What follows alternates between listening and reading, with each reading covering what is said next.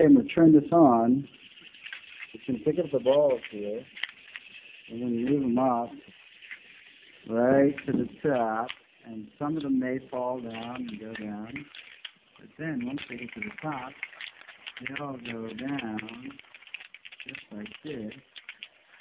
And they all come down here. And you will see. As you will see, they all come down here. Follow the first one. And it's just us to come up again. All over again to the top.